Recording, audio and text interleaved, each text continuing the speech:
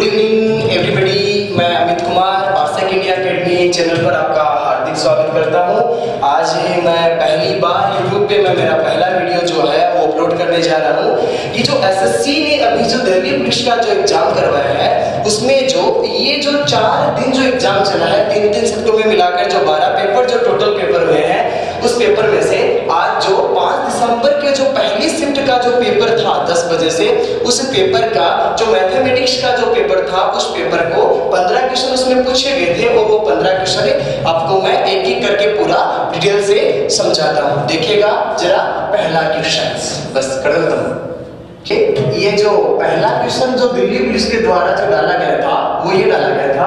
बहुत सिंपल सा क्वेश्चन दिया गया था। बोला गया कि ऐप तथा एम मिलकर एक काम को आठ दिन में कर सकते हैं। ऐप तथा एम मिलकर एक काम को आठ दिन में कर सकते हैं। ऐप अकेला उसी काम को, ऐप अकेला उसी काम को बारह दिनों में समाप्त कर सकता है। एम अकेला उस काम को कितने दिनों में समाप्त करेगा? बोला है कि जो ऐप जो है अकेला करेगा तो उस काम को कितने दिनों में करेगा? देखिए, बहुत ही सिंपल क्वेश्चन दिया गया था। हम लोग बना लेते हैं इसको। देखो, यहाँ पे हमें दिया गया है कि एम तथा एम दो पर्सन दिए गए हैं। फिर बोलेगा कि इसी वर्ग को कौन अकेला कर रहा है? एम कर रहा है, ठीक है?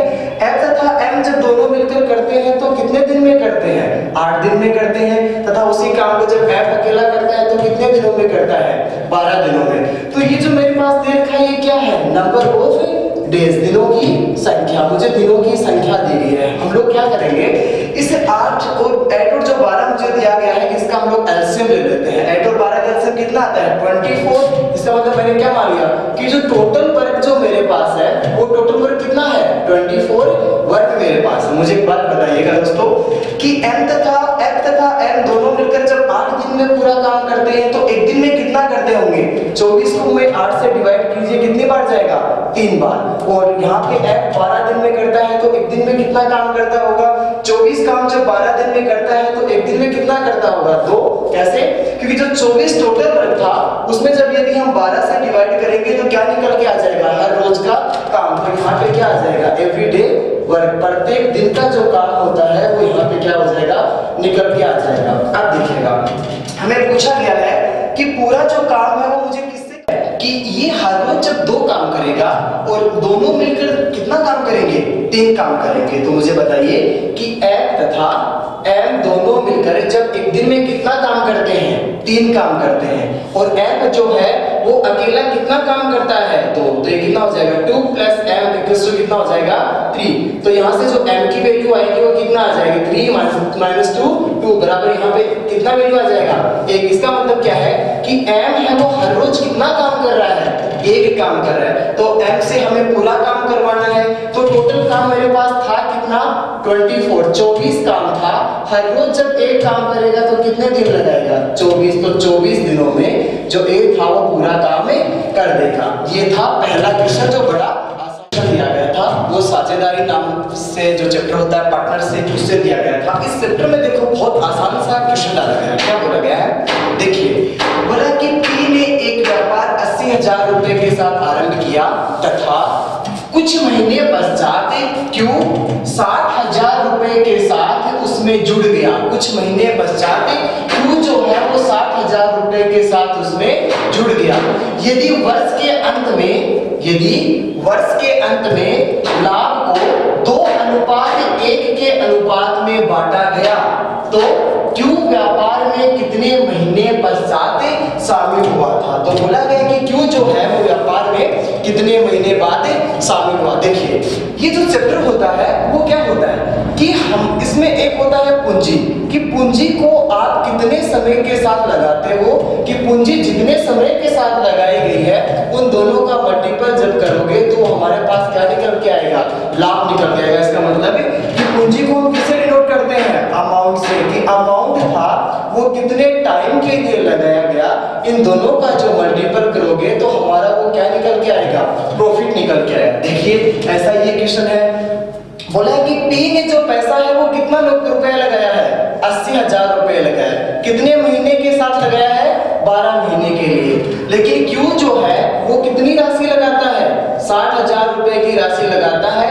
पर बोला गया है, कितने महीने बाद व्यापार में साबित हुआ? इसने बोला कि कुछ महीने बाद, मैं मान लेता हूँ कि जो महीना दिया गया था, वो कितना दिया गया था? अक्स दिया गया था। आप देख लीजिए जब आप अमाउंट को यदि टाइम के साथ गुना करते हो तो बराबर क्या निकल के आता है? प्रॉफिट तो जो पी का प्रॉफिट है, वो कितना रुपया है? दो रुपया. और क्यू का जो प्रॉफिट है, वो कितना रुपया है? एक रुपया अब देखिए काट दीजिए, जितना कट रहा है, चार डिजिट से ये चार डिजिट कैंसिल आउट होगी। यहाँ से इसको काटोगे, दो से तो कितनी बार कट जाएगा? चार बार कट जाएगा। इस चार को हाफ़ करोगे, कितना आएगा? दो आएगा, इसको काटोगे कितना आ जाएगा? तीन आ जाएगा। अब देखिए, इसको काटोगे तो ये यहाँ से कितना निकल के आएगा? इसको काटोगे तो ये कितना निकल के आएगा? ये चार निकल के आएगा और इससे गुना करोगे तो कितना आ जाएगा? आठ। इसका मतलब जो अक्स की वैल्यू आई वो कितना आई है? आठ। हमने अक्स क्या माना था? कि वह इतने महीने बाद में, आठ महीने बाद में व्यापार में, आठ महीने इसने व्यापार किया है। तो कितने महीने बाद में शामिल हुआ था? एक साल में कितने महीने होते हैं? बारह महीने होते हैं। और बारह महीनों में से उसने सिर्फ़ आठ महीने ही व्यापार किया। है तो इसने कितने महीने बाद शामिल हुआ था? चार माह बाद ये व्यापार में शामिल हुआ था। ये था दो नंबर क्वेश्चन। देखिए, अब थर्ड नंबर क्वेश्चन क्या दिया गया था? दिया गया था, वो दिया था, एक व्यक्ति तीन किलोमीटर की चार समान दूरियों को क्रमशः 10, 20, 30, 40 किलोमीटर प्रति घंटा की गति से तय करता है। तो उसकी औसत जो गति पूछी है वो किलोमीटर प्रति घंटा में क्या कीजिए। देखिए जरा हमारा जो फॉर्मूला जो होता है वो क्या होता है? चाल बराबर दूरी बटा समय चाल बराबर कितना होता है? दूरी बटा समय। इसका मतलब इसने जो पूछा है, हमसे गति पूछा है। गति का मतलब ही क्या होता है? चाल या गति दोनों एक ही चीज़ होती है। ये हमने लिख दिया। इसने क्या बोला है कि तीन किलोमीटर की दूरी है, जो चार टुकड़ों में है। पहला ये लो सेकंड वाला ये लो थर्ड वाला ये लो और फोर्थ वाला टुकड़ा कौन सा है? ये टुकड़ा है। तीन तीन किलोमीटर के चार टुकड़े दे रखे हैं। तो हमें औसत गति पूछी है तो औसत गति का फॉर्मूला कितना होता है? औसत गति बराबर होता है। टोटल गति कितना है? तीन तीन, छह, तीन तीन नौ तीन चौकी बारह। तो टोटल कितनी है? बारह किलोमीटर की है। और इसको किस समय से ट्रेवल किया गया है? क्योंकि समय का जो फॉर्मूला होता है, उसको हम निकालेंगे तो कैसे निकालेंगे? समय बराबर होता है दूरी बट्टा चार। क्योंकि क्योंकि यहाँ पे बोला गया है कि अलग अलग जो दूरियाँ हैं, उनको अलग अलग स्पीड से तय किया गया है। तो देखिए, ये 12 बट्टा दूरी बट्टा चार तो पहली तीन किलोमीटर की जो दूरी थी, उसको किस स्पीड से ट्रेवल किया था? 10 की स्पीड से। और आगे वाली जो तीन किलोमीटर की दूरी है, उसको किस स्पीड से? 20 की स्पीड से। और आगे वाली फिर तीन किलोमीटर की दूरी है, उसको कैसे किया गया है? यहाँ से 30 की स्पीड से तो इसको जब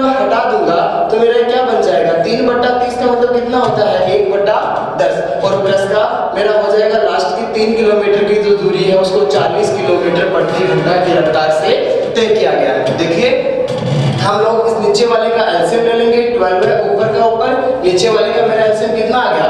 40 40 से डिवाइड करेंगे 10 4 कितना होता है? 40 3 से गुणा करेंगे, कितना हो जाएगा? 4 दिया 12 हो जाएगा। नेक्स्ट वाली जो टर्म आएगी 20 दूनी 40 2 को 3 से गुणा किया तो कितना हो जाएगा? 3 दूनी 6 और नेक्स्ट वाला जो है वो इससे भाग देंगे, कितनी बार गया चार बार। और 4 को 1 से गुणा करेंगे, कितना आएगा? 4 और प्लस का, कि 40 में 40 का भाग दिया, एक बार गया, और एक को किससे गुणा किया? 3 से। तो कितना आया? तीन आया। तो अब मेरे यहाँ से निकाल दीजिए जो दिया गया है ट्वेल्व है, अपॉन बारह, यहाँ से छह चार कितना होता है? दस और दस से बारह, बाईस। बाईस प्लस तीन कितना होता है? पच्चीस। ये पच्चीस दिया गया था, ये चालीस जो नीचे वाला है मल्टीप्लाई होकर कहाँ जाएगा? ऊपर आ जाएगा। काट दीजिए, ये कितना होता है? पाँच पाँच, पच्चीस, आठ, पंजो, चालीस। बारह की कितना होता है? छियानवे। और छियानवे को जब पाँच से डिवाइड करोगे तो ये कितना आएगा? उन्नीस पॉइंट दो किलोमीटर प्रति घंटा, उन्नीस पॉइंट दो किलोमीटर प्रति घंटा। बड़ा आसान क्वेश्चन था। आगे ना सब लोगों को समझ में? देखिए, बड़ा आसान था, इसे आराम से इसको बेसिक तरीके से आप लोग बना सकते हो। जो ये तीन नंबर जो क्वेश्चन दिया गया था, हम इसको दूसरे तरीके से भी बना सकते हैं। कैसे बना सकते हैं? जैसे हम लोगों ने टाइम एंड वर्क पढ़ा है और उसी तरीके जैसे हमें वो जो पाइप एंड सिस्टम जो चैप्टर है पाइप एंड सिस्टम वो पढ़ा है, उसी तरीके से हम इसको बना सकते हैं। देखिए कैसे बनाएँगे? इसमें जो हमें दिया गया है पहली जो चाल है वो 10 किलोमीटर प्रति घंटा, दूसरी वाली 20 तीसरी वाली 30 किलोमीटर, चौथी वाली कितना है? 40 किलोमीटर। तो मैं क्या करूँगा? जो ये मुझे स्पीड दिया गया है, इस स्पीड से मैं इसका क्या मान लूँगा? एक डिस्टेंस मान लेता हूँ। क्या मान लेता हूँ? एक डिस्टेंस देखिए जरा। 10 20 30 40 का सबसे छोटा एलसीएम कितना आएगा? होता है? लोवेस्ट कॉमन फैक्टर लघुत्तम समापवर्ती जिसको हिंदी में बोलते हैं, कितना आ गया? 120 अब मैंने इसे डिवाइड किया तो कितनी बार डिवाइड हो गया 12 बार यहाँ पे डिवाइड किया तो कितनी बार जाएगा। मेरा 6 बार यहाँ पे डिवाइड किया तो कितनी बार होगा? 4 बार और यहाँ से डिवाइड किया तो कितनी बार आएगा? 3 बार इसका मतलब कि मैंने दिया तो मेरे पास किसका रेशियो आ गया यहाँ पे? ये टाइम की आ गया है मेरे पास। अब देखिए, इसने बोला है कि जो जो दूरी थी वो कितने भागों में दी गई थी? चार समान भागों में। तो हमने जो टोटल दूरी मानी है 120 उसको भी कितनी मान लीजिए? चार गुना क्योंकि चार भागों में माना है तो चार से मल्टीप्लाई कर दिया। तीन भागों में करता तो तीन से मल्टीप्लाई करते दो में बोलता तो किससे मल्टीप्लाई करते दो से मल्टीप्लाई करते टाइम देखिए कितना हो जाएगा? छह, चार, दस, ये हो गया बारह वही कितना हो गया? ट्वेंटी फाइव हो गया। इससे हम लोग काटेंगे तो कितनी बार कटेगा? चौबीस बार कटेगा और ये कितनी बार कटेगा? पाँच बार कटेगा। ठीक है? देखिए जरा, और इसको गुना करेंगे तो वही 96 डिवाइडेड बाय 5 और मल्टीप्लाई डिवाइड करने के बाद में आएगा 19.2 किलोमीटर प्रति घंटा। देखिए नेक्स्ट क्वेश्चन नंबर क्वेश्चन था, वो था एक वर्ग के क्षेत्रफल तथा उसके भीतर खींचे गए वर्ग के क्षेत्रफल का अनुपात ज्ञात कीजिए। ये जो क्वेश्चन था, वो अपने मेंसुरेशन क्षेत्र में पार्ट से दिया गया। बहुत आसान क्वेश्चन दिया गया था। देखिए, कैसे एक्सप्लेन करेंगे? इसने बोला कि एक वर्ग दिया हुआ है। क्या दिया हुआ है? एक वर्ग दिया गया ठीक है ना? एक वर्ग दिया है। और बोला है, इस वर्ग के अंदर हमें क्या बनाया गया है? एक सर्किल बनाया गया है। वर्ग के अंदर क्या बनाया गया है? एक सर्किल बनाया गया है। सर्किल जो बनेगा, वो वर्त की सभी भुजाओं को टच करता हुआ बनेगा। ये सर्किल जो बनाया गया है, ठीक है? वर्त के अंदर एक सर्किल बना दिया। और इसका जो मिडिल पॉइंट होता है, वो केंद्र बिंदु जिसको बोलते हैं, ये होता है है, मैंने मान लिया कि वर्ग की जो साइड है, ये कितना है? x सेंटीमीटर है तो वर्ग की चारों भुजाएँ क्या होती है? लंबाई में समान होती है, ये भी x हो जाएगी और ये भी कितना हो जाएगी? x हो जाएगी और ये वाला भी कितना हो जाएगी? x हो जाएगी। अब मुझे बात बताइए कि वर्ग का जो केंद्र है उससे इस भुजा पे यदि हम यहाँ से परपेंडिकुलर लंब डाल देंगे तो ये इसको कितने भागों में डिवाइड करेगा? दो भागों में, क्योंकि ये क्या होता है? मिड पॉइंट होता है। तो ये जब पूरी साइड मेरे पास x दिया हुआ है तो यहाँ वाला साइड कितना आ जाएगा x बाई टू और ये वाला साइड भी कितना आ जाएगा?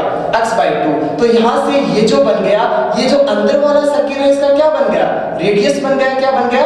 रेडियस और जो रेडियस दिया गया है मुझे वो कितना हो गया? X बाई टू हो गया मेरा। X बाई टू रेडियस दिया गया तो ये पूछा गया था, बोला गया था यहाँ से ये हम निकाल लेंगे कि बोला गया कि वर्ग का क्षेत्रफल। एक तो कुछ बोला गया कि वर्ग का क्षेत्रफल और दूसरा किसका अनुपात दिया गया है कि उसके भीतर जो खींचे गए था, उसके वर्ग का क्षेत्रफल। क्या होता है वर्ग का क्षेत्रफल? किसका होता है? साइड का स्क्वायर, जिसको बोलते हैं भुजा स्क्वायर। और जो वर्ग का क्षेत्रफल होता है, वो क्या होता है? पाई इंटू आर स्क्वायर तो यहाँ पे जो एक वर्ग जो बाहर वाला है, इसकी जो साइड है, भुजा, वो कितनी है? अक्स है। तो इसका जो एरिया आ जाएगा, वो कितना आ जाएगा? अक्स स्क्वायर बराबर, ये पाई इंटू इसकी जो कितनी आएगी, इसकी कितनी हो जाएगी रेडियस x बाई टू ये कितना हो जाएगा? X बाई टू का होल स्क्वायर देखिए, जिसको सोल्व कीजिए, यहाँ से x स्क्वायर हो गया, यहाँ से पाई को हम लिखेंगे बाईस बट्टा सात इंटू ये x स्क्वायर और डिवाइडेड बाई दो का होल स्क्वायर कितना हो जाएगा? चार। X स्क्वायर से क्या हो जाएगा? X स्क्वायर कैंसिल आउट मेरा हो गया। इधर देखिए, अब मेरा कितना हो जाएगा? इधर इसको लाके गुना करूँगा तो ये इधर जो डिवाइड वाला जो पार्ट है वो भी बराबर या इक्वल की दूसरी साइड आता है तो क्या बन जाता है? मल्टीप्लाई तो ये सात को चार से गुना करेंगे, कितना आएगा? अट्ठाईस। तो ये अट्ठाईस और यहाँ पे जो हमें दिया गया था, इसका हमें अनुपात पूछा गया तो अनुपात लगा दीजिए आप लोग भी। ये लो अनुपात लगा दिया हमने भी। और लगाने के बाद में अट्ठाईस अनुपात कितना हो जाएगा? बाईस हो जाएगा। इसको काटोगे कितना आएगा? चौदह, और इसको काटेंगे तो कितना आएगा? ग्यारह। तो इसका आंसर था कि जो वर्ग का जो क्षेत्रफल है, वो उसके और वर्ग का जो क्षेत्रफल है, जो उनका जो अनुपात होगा, वो कितना आएगा? चौदह अनुपात ग्यारह। था, वो अपने जो लाभ हानि चैप्टर है प्रॉफिट एंड लॉस उससे दिया गया है। इसमें पूछा गया है कि पीयूष अपनी वस्तु के मूल्य को क्रय मूल्य से 30 परसेंट अधिक अंकित करता है। यदि 20 प्रतिशत की छूट देने के पश्चात वस्तु को 780 रुपए में बेचता है तो उस वस्तु का क्रय मूल्य क्या होगा? बहुत ही आसान क्वेश्चन दिया गया था। देखिए, इसने बोला कि मैंने मान लिया कि कोई आर्टिकल है मेरे पास और वो कितने रुपए का है? सौ रुपए का। और रुपए का होने का मतलब हमें कॉस्ट प्राइस दिया गया है, जिसको हम लोग क्या बोलते हैं? क्रय मूल्य दिया गया। इसका मतलब उस वस्तु का क्रय मूल्य कितना दिया गया है? सौ रुपए। बोला गया है, उस वस्तु जो सौ रुपए का आर्टिकल था, उसको कितने परसेंट अंकित ज़्यादा करता है? तीस परसेंट इसका मतलब उस पर रेट कितना लिखता होगा? 130 और ये 130 जो है, जो किसी भी आर्टिकल पे जो रेट लिखा हुआ था, वो क्या होता है? एमपी जिसको हम लोग क्या बोलते हैं? अंकित मूल्य। मैक्सिमम प्राइस जिसे डिनोट करते हैं एमपी के द्वारा। अब देखिए मतलब कोई आर्टिकल सौ रुपए का था, उस पर तीस परसेंट ज़्यादा अंकित करके कितना लिख दिया? 130 रुपए लिख दिया अब क्या बोलता है कि ये 130 रुपए का जो आर्टिकल है, इसको कितने परसेंट छूट पे बेचता है? 20 परसेंट इसका मतलब क्या होता है कि परसेंटेज में जब भी मान होता है तो कितना होता है? 100 परसेंट और 100 परसेंट से जब 20 परसेंट हमें छूट देता है तो हमसे कितना रुपए लेता है? 80 परसेंट और 80 परसेंट का मतलब कितना हो जाएगा? डबल ज़ीरो से कैंसिल आउट तेरह आठ कितना होता है? एक चार रुपया इसका मतलब उस आर्टिकल का जो सेलिंग प्राइस है, वो कितना रुपया है? एक सौ चार रुपया हमने जब सो मान के जब आर्टिकल सेलिंग प्राइस निकाला, या जो विक्रय मूल्य निकाला, वो एक सौ चार रुपया है। और ये अगला बोल रहा है कि एक सौ चार रुपया नहीं है। उस आर्टिकल को भाई कितने में बेचा है? सात सौ अस्सी में। मतलब एक सौ चार जो यूनिट जो है, वो किसके बराबर है? सात सौ अस्सी के बराबर है। तो कितना था कॉस्ट प्राइस सौ रुपए। ये सौ यूनिट किसके बराबर हो जाएगी? सात सौ अस्सी डिवाइडेड बाई एक सौ चार मल्टीप्लाई वन हंड्रेड इसको हाफ़ करेंगे, कितना हो जाएगा? फिफ्टी टू काटेंगे, आ जाएगा फिफ्टी फिर काट देंगे कितना आ जाएगा? ट्वेंटी फाइव और फिर काटेंगे कितना आएगा? छब्बीस, इससे काट देंगे कितनी बार कटेगा? छब्बीस के अठहत्तर तीन ज़ीरो और पच्चीस के पिछहत्तर तो कितना आ जाएगा? सात सौ पचास रुपए इसका मतलब कि जो वो वस्तु था, उसका जो कॉस्ट था, वो कितना रुपए था? सात सौ पचास रुपया था। तो अगला क्वेश्चन जो पूछा गया था, वो ये था कि यदि 40 कुर्सियाँ दस हज़ार रुपए में खरीदी गई हैं तो 60 प्रतिशत लाभ कमाने के लिए दस हज़ार रुपए में कितनी कुर्सियाँ बेची जानी चाहिए बहुत ही सिंपल क्वेश्चन दिया गया था।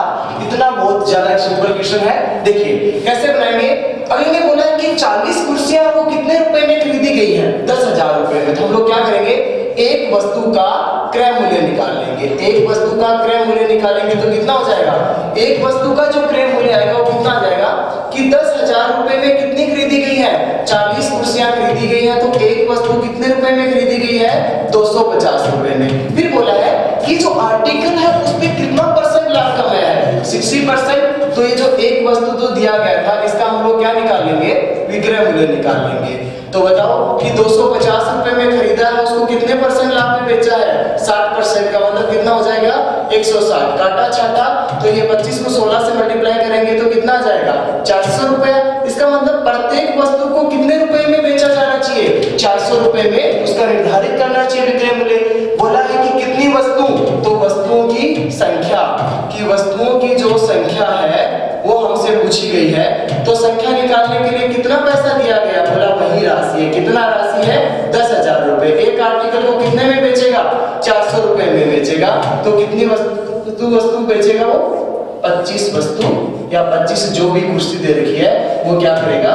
बेच देगा। बहुत सिंपल क्वेश्चन नेक्स्ट जो सात नंबर क्वेश्चन था, बड़ा आसान पूछा गया था। कहाँ से उठाया गया था? बोला कि कंपाउंड इंटरेस्ट से पूछ लिया गया है कि आठ हज़ार रुपए पर 2.5 परसेंट प्रति वर्ष की दर से दो वर्षों के लिए सीआई व एसआई में अंतर ज्ञात कीजिए। ऐसे कैलकुलेशन को हम बनाने के लिए क्या करेंगे?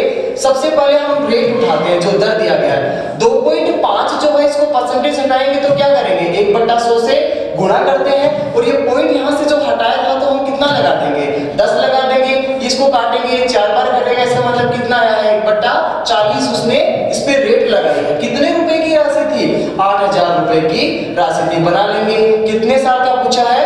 दो वर्ष का हमसे पूछा गया है। लिख दीजिए, एक बट्टा चालीस कितना होता है? आठ सौ का, आठ हज़ार एक बट्टा चालीस कितना होता है? आठ हज़ार इंटू एक बट्टा चालीस, इसको काटेंगे ज़ीरो। ये चार दुनी आठ सौ कितना रुपया हो गया? दो सौ रुपया अगले साल के लिए भी इसका भी एक बट्टा चालीस कितना आ जाएगा? दो सौ रुपया। क्योंकि ये समान क्यों होता है। क्यों? क्योंकि जो सिंपल इंटरेस्ट जो होता है, वो हमेशा क्या मिलता है? सम्मान मिलता है। तो यहाँ से जो ये सिंपल इंटरेस्ट है, वो पहली साल का भी दो सौ रुपया और अगले साल का भी कितना रुपया है? दो सौ रुपया। अब बोला है कि चक्रवर्ती ब्याज। मुझे ब्याज किस पे लगता है? चक्रवर्ती जो ब्याज होता है, वो पहले साल के ब्याज पर ब्याज यहाँ इस दो सौ रुपए पर जब दोबारा से हम एक बट्टा चालीस रेट लगाएँगे रेट हमेशा कौन सी वाली लगाते हैं? अगली वाली लगाते हैं। तो ये दो सौ रुपए पर ये वाले एक बट्टा चालीस रेट लगाएँगे तो यहाँ से ब्याज कितना रुपए निकल आएगा? पाँच रुपए का। तो मुझे एक बात बताओ कि यहाँ पे ये 200 200 400 रुपए जो है, वो जो क्या है? दो साल का सिंपल इंटरेस्ट है और 200 प्लस 200 400 प्लस 5 मतलब ये 405 रुपया है, वो क्या है? दो साल का चक्रवर्ती ब्याज है। तो यहाँ पर जो दो वर्ष का जो डिफरेंस है, जो सीआई व एसआई का जो डिफरेंस है, वो कितना रुपया हो जाएगा? चार सौ पाँच रुपया तो सीआई है और चार सौ रुपया ही है तो डिफरेंस कितने रुपए का है? पाँच रुपए का। बहुत आसान क्वेश्चन आठ नंबर जो औसत से डाला गया है बोला कि 11 खिलाड़ियों तथा उनके प्रशिक्षक या जो ट्रेनर है, उसकी जो औसत आयु है वो कितना वर्ष है? 33 वर्ष है। पहले पाँच खिलाड़ियों की औसत आयु 29 वर्ष है तथा शेष खिलाड़ी जो है, उनकी औसत आयु कितना है? 30 वर्ष। तो उस प्रशिक्षक की आयु जो है वो किसमें ज्ञात करनी है? वर्षों में पूछी गया देखिए, बहुत आसान ग्यारह खिलाड़ी एक उनका प्रशिक्षक। तो टोटल कितने मेंबर हो गए? तो बारह। इन बारह मेंबर की जो आयु का जो योग है वो कितना हो जाएगा कि 33 वर्ष औसत दिया है तो योग कितना हो जाएगा? 33 इंटू बारह। और 33 इंटू बारह जो होता है, वो कितना होता है? तीन सौ छियानवे तो इसका मतलब जो टोटल वर्ष का ये जो योग है, वो कितने साल के हैं? तीन सौ छियानवे साल के। फिर बोला है, पहले पाँच खिलाड़ियों की। तो फ़र्स्ट वाले जो पहले पाँच है, उनकी जब निकालेंगे तो उनका जो योग आएगा, वो कितना आएगा? उनतीस वर्ष। तो इनका उनतीस इंटू कितना हो जाएगा? पाँच। तो ये कितना हो जाएगा? नौ, पाँच, पैंतालीस दो और चार, चौदह तो एक सौ पैंतालीस। वर्ष ये आ गया पहले पाँच खिलाड़ियों की फिर देखो टोटल कितने थे? ग्यारह तो पाँच आ गए तो शेष कितने बचे? छह खिलाड़ी। तो छह खिलाड़ियों का जो एवरेज है वो कितना दिया गया? तीस साल। तो छत्तीस, अठारह तो ये कितना हो जाएगा? यहाँ से जो योग पूछेगा, वो योग मेरा हो जाएगा कि जो छह इंटू कितना दिया है? तीस। जो छत्तीस, अठारह, एक सौ अस्सी। इनको जोड़ दीजिए। ये पाँच, आठ, दो, दस तो बारह, एक, दो, एक तीन। तो इसका मतलब क्या है कि जो ग्यारह है इनका तीन सौ पच्चीस और बारह का कितना है? तीन सौ छियानवे। तो टोटल जो तीन सौ छियानवे, जो बारह का है, उसमें ग्यारह का माइनस हम कर देंगे। तो ये किसका बच जाएगा इकहत्तर वर्ष जो आएगा, वो किसका आएगा? प्रशिक्षक का। जो ये इकहत्तर वर्ष जो है, किसका है? प्रशिक्षक का। अगला जो क्वेश्चन था, वो अनुपात समानुपात से डाल दिया। बोला कि यदि a बराबर पाँच बटा चार बी तथा b बराबर दो बटा दस सी तो a अनुपात, b अनुपात c ज्ञात कीजिए। देखिए कैसे बनाएँगे? यहाँ पे दे रखा है a इधर ये मल्टीप्लाई है नीचे आके डिवाइड कितना बन गया? पाँच बटा चार। ऐसे ही हमें दिया है ये b इधर मल्टीप्लाई नीचे आके डिवाइड बराबर दो बटा दस का मतलब कितना हो जाएगा? एक बटा पाँच। तो यहाँ से मेरे पास आ गया a अनुपात b बराबर पाँच अनुपात चार b अनुपात c बराबर कितना हो जाएगा? एक अनुपात पाँच। अनुपात निकालने के लिए हम लोग क्या करते हैं कि जो पहले का जो लास्ट होता है, वो सेकंड का क्या होना चाहिए? फ़र्स्ट होना चाहिए। फिर हम लोग बोलते हैं, क्या बना दीजिए? उल्टा एन तो इसको यहाँ से मल्टीप्लाई करो, इसको यहाँ से करो, इसको यहाँ से। तो मेरा आ जाएगा ए अनुपात बी अनुपात सी बराबर पाँच एकम पाँच, चार एकम चार, पाँच चार, बीस। तो रेशियो आ गया पाँच, चार और बीस। नेक्स्ट क्वेश्चन दस नंबर जो दिया गया था, वो हमें परसेंटेज चैप्टर से डाल दिया गया है। बोला कि यदि एक संख्या a है, वो दूसरी संख्या से कितना परसेंट कम है? 30 परसेंट मतलब a व b का दिया है। बोला कि a जो है, वो b से कितना परसेंट कम है? 30 परसेंट मैं मान लेता हूँ कि b जो नंबर है, वो कितना है? 100 परसेंट है। और इस b से ये a 30 परसेंट कम है तो इसका मतलब कितना हो जाएगा? 70 हो जाएगा। इसको हम रेशियो में लिखेंगे तो काट देंगे तो कितना आएगा? सात अनुपात दस मेरा यहाँ तक हो गया इसने बोला है कि जो b जो नंबर है, वो 150 से कितना परसेंट ज़्यादा है? 20 परसेंट तो 150 से 20 परसेंट ज़्यादा मतलब 100 प्लस 20 120 डिवाइडेड बाई 100 यहाँ से इसको काटा ज़ीरो से ज़ीरो और ये 15 इंटू बारह मल्टीप्लाई करेंगे, कितना होता है? 180 तो ये डाटा कितना आ जाएगा? 180 इसका मान है कि b की वैल्यू 180 रख दीजिए कि b का मान कितना है?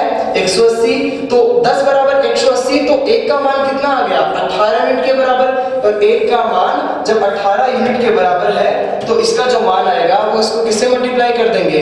18 से मल्टीप्लाई कर देंगे। आठू सातू छप्पन कितना बचा? 5 और सात 5 कितना होता है?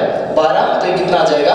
126 यूनिट तो इसका आंसर है 120 ग्यारह नंबर जो क्वेश्चन था, वो सरलीकरण सिंप्लीफिकेशन चैप्टर से दिया गया, बड़ा आसान दिया गया था। ये दिया गया था 3.2 इंटू तीन इसको मैं लिख सकता हूँ a का स्क्वायर प्लस 2.7 इंटू 2.7 इसको क्या लिख सकता हूँ? B का स्क्वायर और प्लस एक a वाला मान है a क्या है? B वाला मान है। तो दोनों को मैं क्या लिख दूँगा? A, b ये लिख दिया मैंने। बट्टा, मुझे क्या दे रखा है? इसको तीन बार लिखा है तो मैंने लिख दिया a का क्यूब और ये इसको क्या लिख दिया? B का क्यूब हमारा जो फॉर्मूला होता है वो हमारा फॉर्मूला होता है कि ऊपर वाला एसिडी जैसा लिखा हुआ है लिख दिया और नीचे वाले को हमें तोड़ सकते हैं कैसे a cube minus b cube का जो फॉर्मूला होता है वो होता है a minus B into A square plus का बी स्क्वायर रूट प्लस का कितना होता है? ए बी इससे ये वाला क्या हो जाएगा? टर्म कैंसिल आउट मेरा आया one upon A minus B A की जगह हमने क्या मान लिया था? तीन पॉइंट दो। तो one upon three point two minus दो पॉइंट कितना हो जाएगा? सात। की वैल्यू दो पॉइंट सात है। ये दो तो ये कितना जाएगा? एक अपॉन यहाँ पे ये हो जाएगा बारह। बारह में से सात का कितना बचा? पॉइंट पाँच। तो ये मेरा कितना हो जाएगा? पॉइंट पाँच। अब देखिए, इस पॉइंट को हटाने के लिए नीचे में क्या लगाऊँगा? दस ये दस कहाँ चला जाएगा? ऊपर। तो मेरा बन गया दस बट्टा पाँच। तो पाँच दूनी दस। आंसर कितना है? दो। इसका उत्तर कितना था? दो था। देख लीजिए। अगला बारह नंबर जो क्वेश्चन है, बोला है दो, तीन, चार व छह से विभाजित करने पर प्रत्येक से शेषफल एक देने वाली चार अंकों की सबसे छोटी संख्या कौन सी है? सबसे पहले तो मुझे आप लोग ये बताइए कि चार अंकों की जो सबसे छोटी संख्या होती है, चार अंकों की जो सबसे छोटी संख्या होती है चार अंकों की जो सबसे छोटी संख्या है, वो कितना होता है भाई चार अंकों की? वन ज़ीरो ज़ीरो ज़ीरो मतलब कितना हो जाएगा? एक हज़ार सबसे छोटी संख्या चार अंकों की। अब देखिएगा, ये बोला कि दो, तीन, चार व छह से विभाजित। इसका मतलब क्या है? कि यदि इन नंबर से कोई संख्या विभाजित हो रही है इसका मतलब वो क्या होनी चाहिए इनके लघुतम समापवर्तन से भी विभाजित होनी चाहिए तो ले लीजिए। दो, तीन, चार और छह। का जो एलसीएम है, एलसीएम को क्या बोलते हैं? लघुतम समापवर्त है, वो कितना हो जाएगा? मतलब ऐसी एक संख्या जिसमें सबका भाग चला जाए। तो सबसे छोटी कौन सी है? बारह ऐसा है, क्योंकि बारह दो से भी डिवाइड भी डिवाइड चार से भी डिवाइड और छह से भी इसका मतलब इसका एलसीएम कितना है बारह। तो इस संख्या में भाग दे दीजिए कि एक हज़ार जो था, उसको बारह से डिवाइड करेंगे तो बारह की कितना होता है? छियानवे ये कितना बचा? Four, zero. और ये बारह दिया कितना हो? जाए छत्तीस। इसका मतलब शेषफल कितना आया? चार। इसने बोला कि उसमें डिवाइड पूरी पूरी होनी चाहिए। इसका मतलब चार बचा है, इसको बारह से डिवाइड कब होगा? जब इसमें हम क्या करेंगे? प्लस का ऐड ऐड करेंगे। तो इस संख्या में ऐड कर दीजिए कि कितना हो जाएगा? एक हज़ार और में आठ में ऐड कर देंगे तो कितना हो जाएगा? एक हज़ार आठ हो जाएगा। अब देखिए कि ये संख्या जो है एक हज़ार आठ, वो बारह से क्या है? पूर्णतः विभाजित है। पर क्या बोला गया है कि विभाजित नहीं होनी चाहिए, उसमें कितना शेषफल बचना चाहिए? एक। इसका मतलब इस संख्या में यदि हम एक और प्लस कर देंगे तो शेषफल कितना बच जाएगा? एक बच जाएगा। तो इसका मतलब मेरा आंसर कितना था? एक हज़ार नौ। तो वो संख्या थी एक हज़ार नौ। सिंप्लीफिकेशन जैसा पूछा गया भिन्न से, बोला गया है, इन नंबर में सबसे बड़ा कौन सा है? देख लीजिए वन बाई टू का मतलब कितना होता है भाई? ज़ीरो पॉइंट पाँच। इसका मतलब इसमें डिवाइड कर देंगे कितना आएगा? पॉइंट पाँच। इसमें डिवाइड करेंगे तो कितना हो जाएगा? ये बन जाएगा थर्टी थर्टी को सेवन से डिवाइड किया तो कितना हो जाएगा? सात इक्कीस सात चौके अट्ठाईस। तो कितना हो जाएगा? ज़ीरो पॉइंट चार। इसको करेंगे तो फोर्टी बाई सेवन तो ज़ीरो पॉइंट कितना होता है? दो पाँच, पैंतीस। ये भी ज़ीरो पॉइंट पाँच के समथिंग आगे आ जाएगा। ठीक है? मतलब इससे तो बड़ा हो जाएगा और आगे वाला देखो, ये कितना हो जाएगा? 60 और 60 को जब 7 से डिवाइड करेंगे तो कितना होता है? सातों आठों छप्पन तो ज़ीरो पॉइंट आठ इसका मतलब सबसे बड़ा कौन सा है? बी नंबर ऑप्शन सबसे बड़ा नंबर जो क्वेश्चन है, बहुत आसान दिया गया है। बोला है one plus two plus three plus four से लेकर कहाँ तक नंबर है?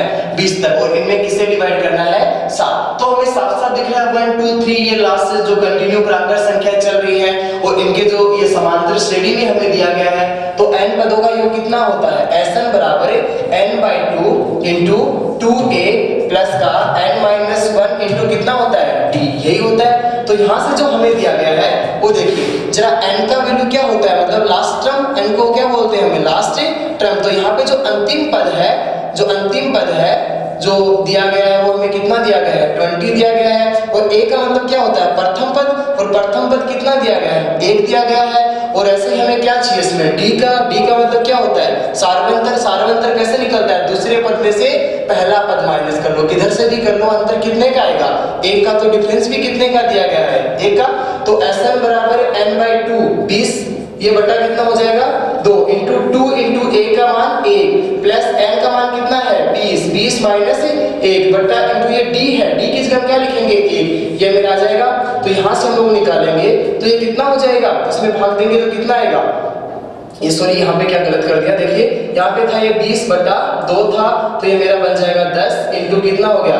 ये 2 का 2 प्लस ये 19 ये 19 कितना हो जाएगा? ये 21 हो जाएगा तो मेरा आएगा 10 इंटू इक्कीस। अब देखिए, ये मेरा आया है इनका योगफल। लेकिन इसने पूछा कि इसको किससे डिवाइड करना है? सात से भी डिवाइड करना है। कर दीजिए, सात या इक्कीस तीन बार तो दस को तीन से गुना गया कितना आया तीस। तो इसका आंसर कितना है? तीस। जो ऑप्शन नंबर कितना दिया गया है? फ़र्स्ट दिया गया है। नंबर जो पंद्रह नंबर जो क्वेश्चन है, बड़ा आसान दिया गया था। Under root zero point zero छह दो पाँच का मान ज्ञात कीजिए। तो देखते ही सब लोगों को पता है कि इसका आंसर आएगा ज़ीरो पॉइंट टू फाइव आएगा कैसे? वो देखिए।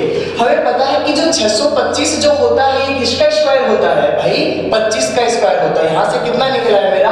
25 निकला है। अब देखिए अंडर रूट के अंदर जो संख्या दे रखी है, वो जो दशमलव पॉइंट है, वो कितने अंकों से पहले दिया गया है? चार अंकों से पहले दिया गया। तो जब यही संख्या अंडर रूट से बाहर निकलती है तो दशमलव कितने अंकों से पहले हो जाता है? दो अंकों से पहले। क्योंकि यदि आपको अंडर रूट में यदि चार अंकों से पहले दे रखा है, दो से, और यदि छह से दे रखा है तो कितने अंकों से पहले आ जाता है? तीन अंकों से पहले आ जाता है। तो इसका आंसर कितना है? ज़ीरो पॉइंट दो। पाँच ऑप्शन नंबर तीन में दिया गया है। ये था एसएससी की जो इस बार दिल्ली पुलिस की जो एग्ज़ाम हुई थी, उसमें जो फ़र्स्ट शिफ्ट का, जो पाँच दिसंबर को जो पहला शिफ्ट था मॉर्निंग दस बजे से, उसका पूरा पेपर था, जो मैंने आपको सोल्व करवा के दिखा दिया। बहुत आसान पेपर आया है। आगे की जो शिफ्ट के हैं, वो जो इसमें जो सेकंड शिफ्ट है, बाकी जो शिफ्ट है वो उसको नेक्स्ट वीडियो में आपके सामने अपलोड कर अपलोड करूँगा। मुझे शायद लग रहा है कि आप लोगों को शायद ठीक से समझ में आएगा। इसको आप लोग बार बार आप लोग इसको शेयर कीजिए। आपको यदि मेरा वीडियो पसंद आया है तो इसको आप लोग मेरे चैनल को, जो है पार्सेक इंडिया अकेडमी को, आप सब्सक्राइब कीजिए, अपने दोस्तों के साथ शेयर कीजिए, उनको भी बताइए, जिससे मैं आपको आगे नई नई अपडेट देता रहूँगा। जितनी भी एग्ज़ाम्स होंगी एसएससी की है, बाकी किसी भी गवर्नमेंट यदि एग्ज़ाम जो जॉब का एग्ज़ाम लगा है तो उसके सबके वीडियो में अपलोड करता रहूँगा। और इससे आप लोगों को भी अच्छा मौका मिलेगा इसको देखने का, और मुझे भी अच्छा मैं भी इसको अच्छे से आप लोगों को समझा पाऊँगा।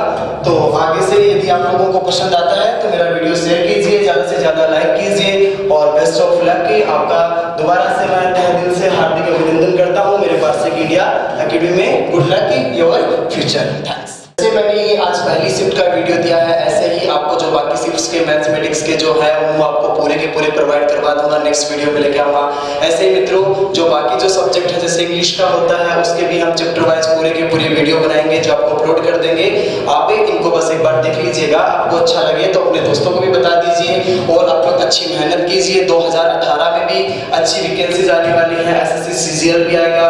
एस एस की भी जो वैकेंसी आने वाली है, वो सत्तावन हज़ार पोस्ट के आने वाले हैं। आप लोग जम के मेहनत कीजिए और अच्छा आपको कुछ भी चीज़ इसमें अच्छी लगे तो मुझे बताइए। यदि कोई इसमें आपको कुछ कमी भी नज़र आए तो मुझे आप हर चीज़ बताइए।